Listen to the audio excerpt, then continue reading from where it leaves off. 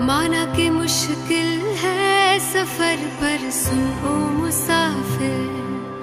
हो कहीं अगर तू रुका तो मंजिल आएगी ना।